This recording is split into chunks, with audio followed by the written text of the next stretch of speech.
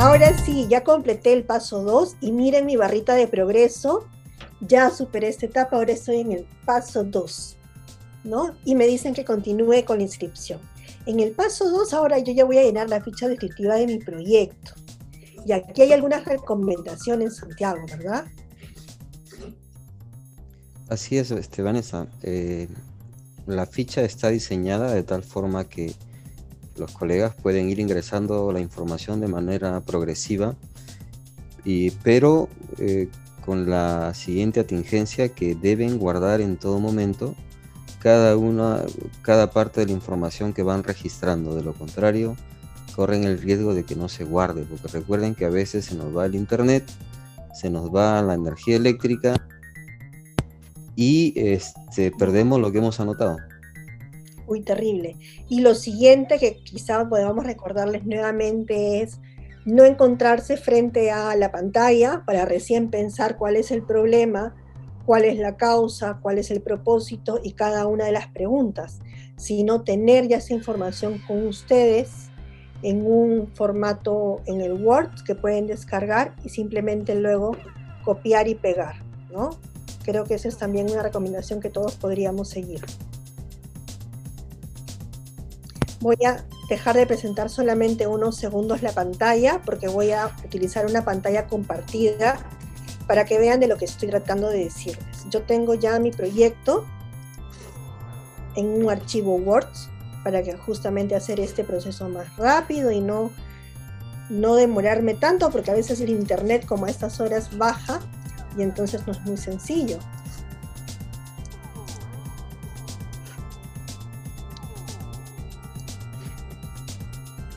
Así es, es importante no estar o no llegar con las manos vacías frente a la ficha de, de registro para que sea más sencillo el proceso de eh, llenar la ficha número 2. Muy bien. Me comenta Santiago si estás pudiendo ver mi, pantalla compartida. Así es, Vanessa, se ve perfectamente. Entonces yo tengo, miren, hacia el lado izquierdo para mí tengo mi ficha, ya yo completé mi proyectito en Word. Hacia la mano derecha tengo la pantalla. Entonces, ahora sí, comenzamos con cada uno de los criterios que son los mismos que están en las bases del concurso. Las preguntas son las mismas que también están en las bases del concurso. Me preguntan en intencionalidad, ¿qué problema actual busca resolver este proyecto o iniciativa? Susténtelo con evidencias. ¿Cuáles son las causas que lo originaron? Y esta pregunta responde al indicador 1.1 de las bases del concurso. ¿Cómo sé cuál es el indicador 1.1? Lo veo en las bases, pero también lo tengo aquí. Si le dan clic a esta, a esta palabra indicador, que está en color morado, ustedes van a ver que se habilita una, un pop-up a través del cual ustedes pueden leer claramente de qué trata. Y tienen además algunas recomendaciones que también se presentan en las bases para poder llenar aquí. Hay algunos aspectos que también me parece importante resaltar, como es, miren, les piden que describan el problema en un cajoncito y luego en otro que analicen las causas. Pero además les dan algunas advertencias. Uno, que la extensión máxima de lo que ustedes deben llenar aquí es 6.000 caracteres, que más o menos son dos páginas. Y en el análisis de las causas también, máximo dos páginas, máximo 6.000 caracteres. Abajo hay otra advertencia, donde nos hablan acerca de cuántos caracteres me quedan. Como yo no he llenado nada, cero, los mismos caracteres, los 6000. Si yo llenara algo, miren, automáticamente se va descontando la cantidad de caracteres hasta que ya no me permita agregar más.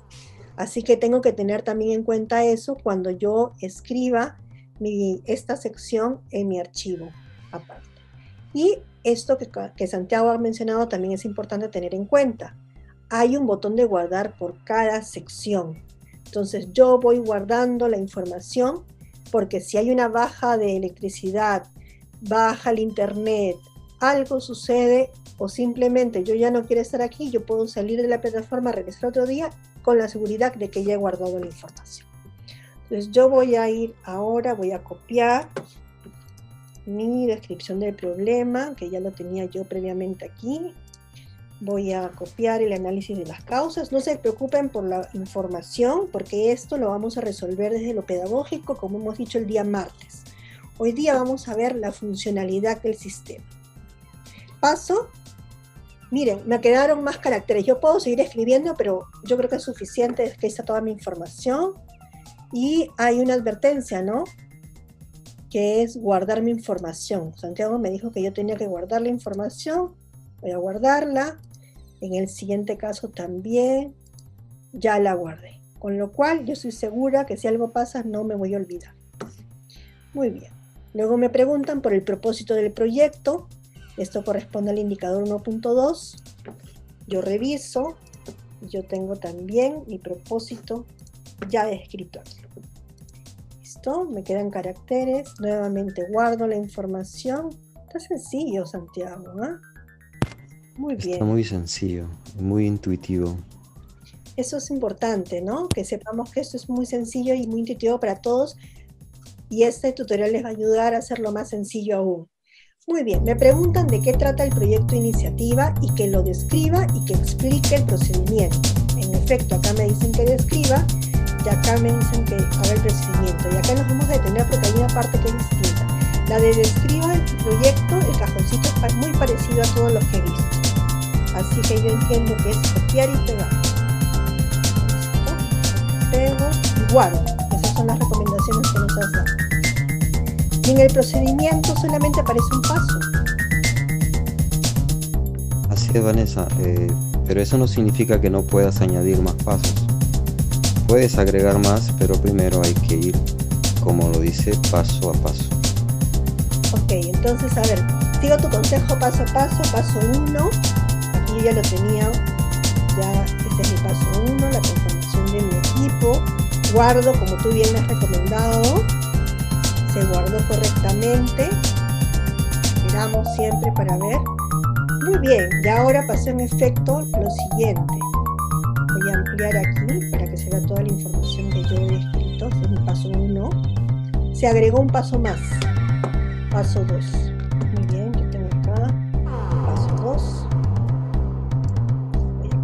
lo voy a pegar, voy a guardar. Muy bien, se agregó el paso 1, tengo mi paso 2. Lo que estoy haciendo es darle clic en la, en la esquinita izquierda, en la esquinita derecha, perdón, y con eso se amplía la información. Y voy a, ya, me queda en un paso 3, porque esos son los pasos principales de mi Vamos a agregar aquí, guardo, Muy bien, llené hasta mi paso 3, pero me apareció un paso 4, Santiago. Eso debe preocuparme. Si es que, ¿qué pasa si yo no lleno, yo no tengo un paso 4? Un siguiente paso. No, pasa, no hay ningún problema, Vanessa. Este, si tu estrategia consta de solamente de tres pasos, entonces podemos olvidar el paso número 4. El sistema lo va a admitir como algo eh, que no tiene ninguna dificultad. Ok, no lo reconoce como incompleto. Así es, no lo reconoce como incompleto. Entonces, bueno, para seguridad de todo. Muy bien. Me habla sobre el valor agregado. Yo tengo aquí ya mi valor agregado también,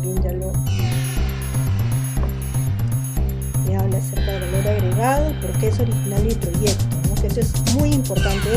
recuerden que, eso lo vamos a ver el día martes, este criterio de originalidad que es el que tiene mayor peso de todos dentro de las rúbricas de evaluación. Así que ojo, ojo, aquí hay que prestarle mucha atención y tomarnos el tiempo necesario para describirlo, porque justamente es lo que eh, identifica por qué es un proyecto innovador. El día.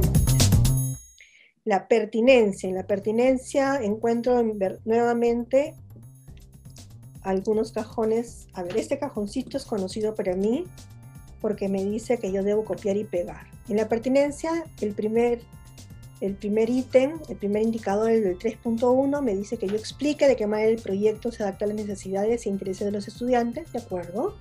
Y las particularidades que se viven en el contexto actual de emergencia sanitaria y educación a distancia. Hago una explicación detallada y señale ejemplos. Ya lo hice, ya lo pegué, yo estoy segura que es mi información, la guardo. Pero ahora me encuentro con eso que es un poco distinto, porque acá ya no tengo que copiar y pegar. ¿Cómo hago aquí? Ahora me encuentro con los desafíos y prioridades, que es el indicador 3.2. Acá es para marcar, ¿no, Santiago? Sí, ese es para seleccionar eh, nuestra propuesta con qué desafíos está, está relacionado o vinculado. Muy bien, entonces en este caso este proyecto está, está relacionado con, miren, lo que podemos ver es una lista de desafíos que están justamente en las bases y si no hubiese, si yo no encontrara un vínculo con ese desafío, yo puedo marcar el casillero otros. Pero si no es así, puedo marcar también alguna de esas prioridades. Y si no estuviese una de esas prioridades entre las que yo se vinculan más con mi proyecto, mi, mi proyecto, marco otra prioridad de política. Muy bien. Y lo que ha pasado es, voy a desmarcar. A ver. En este caso, mi proyecto se vincula con el pensamiento, con la autonomía, este de aquí, y con la participación. ¿Qué pasa si yo me equivoco? ¿Cómo hago para desmarcar? Buena pregunta. Baja un poquito en la pantalla, Vanessa. Por cada desafío, por cada política se ha añadido un casillero para completar, ¿no? Entonces, si te equivocaste, le das en el botón eliminar, que está abajo, y desaparece. Ok, entonces desafío, proyectos que favorezcan el pensamiento crítico, no, ese no está vinculado al mío, a ver, te sigo tu consejo, elimino. Muy bien, otro desafío, no, ese tampoco no corresponde, elimino. Muy bien, quedaron solamente los dos, que yo mencioné, autonomía y participación. Autonomía y participación. Entonces ahora escribo con autonomía y ahora sí escribo la justificación que yo la tenía también escrita aquí en mi pantallita, en mi archivo Word, que me ayuda mucho y ya está. Guardo mi justificación. Guardo muy bien mi justificación con los dos. Y si yo quisiera más, aumento, doy clic y se aparece otro casillerito, ¿verdad? Así es. Muy bien, ya estamos casi casi terminando esta parte. Me preguntan por el impacto. ¿Qué avances o logros he tenido yo con mi proyecto de innovación hasta la fecha. Como es proyecto, ya me están preguntando por esto también y entonces yo empiezo a escribir, ese es el indicador 4.1 que me dice que lo sustente, esos avances o logros o resultados que haya tenido. Yo ya lo, lo tenía aquí en mi Word, en el archivo Word, me quedan caracteres, pero yo estoy satisfecha con eso y lo voy a guardar. El quinto es la sostenibilidad. Nuevamente, sustenta la vigencia. Yo ya lo tengo consignado. Copio mi información, la pego. Y luego además me piden que identifique las necesidades de formación de los estudiantes. Nuevamente, copio y pego. Uy, se me había olvidado. Tú me dijiste que siempre guarde. Voy a guardar la información. No te olvides de guardar, Vanessa. Sí, sí, verdad. Ya guardo. No vaya a ser que después salgo de la web y esto no se ha guardado. Reflexión, muy bien. En este, en este criterio de reflexión me dicen que yo tenía que hacer un análisis crítico de la implementación del proyecto frente al propósito planteado. Es decir, acá uno reflexiona en torno a cómo te ha ido el proyecto, cuáles son los aspectos positivos, cuáles son los aspectos que tienen que ser, que fueron mejorados, ¿no? Y ese es justamente el indicador ya lo tenía elaborado en mi Word, entonces lo he copiado y le doy clic a guardar. Ya ven, es mucho más sencillo si es que lo tenemos en un archivo aparte. En participación, ya estoy llegando a la última etapa. Participación, me preguntan qué actores en la comunidad o aliados han participado en mi proyecto. ¿no? Y acá es un indicador que justamente está vinculado con los aliados que han, que han contribuido con mi propósito. Muy bien, ya los tengo identificados también, lo hice hace, lo hice hace varias horas y entonces ya simplemente lo copio y lo pego. Y me preguntan por las estrategias. Esto es importante porque justamente decíamos que muchos proyectos, como el que yo estoy presentando aquí, se han difundido mediante redes sociales, se han dado a conocer a los padres, le han dado a conocer a los padres de familia cómo, cómo se ha venido desarrollando, qué avances hemos tenido, y entonces eso yo lo registro y explico claramente, ¿no? Cuál es mi de qué manera lo he hecho y también guardo. Listo, guardé. Y la pregunta final, como si fuese un examen de admisión. ¿Por qué su proyecto de iniciativa debería ser seleccionado entre todos los ganadores? Eso yo lo tengo ya claro, así que también lo copio lo pego y lo guardo. Muy bien, terminé Santiago. Listo, completé. Felicitaciones, Vanessa, has completado el paso número 2, pero me parece que se te olvidó grabar algo. ¿Cómo sé que se me olvidó? Mm, podemos continuar y el mismo sistema nos va a advertir de que hay algo de información que está incompleta. Creo que por aquí. Por si acaso le doy clic. Ya. Me imagino que al final me va a advertir el sistema, ¿verdad? Así es. Ya. Por si acaso vamos a darle clic a todos, ¿ya? Sí, es una manera de asegurarse de que toda la información esté grabada. Mejor. Ya, le doy siguiente y me voy al paso 3. Al último paso. Ya está, casi, casi enviado mi proyecto. Muy bien, entonces voy a dejar un ratito, vamos a salir porque ya necesito mi Word, ahora ya necesito una carpeta, porque te cuento que para hacer más rápido esto, yo tengo mi carpeta en la cual he puesto todos los DNIs, títulos, todo lo que yo necesito, mis fotos, mis links, todo, todo, todo, para poder, este, menos el link, acá lo voy a copiar, para poder hacer más ágil este proceso.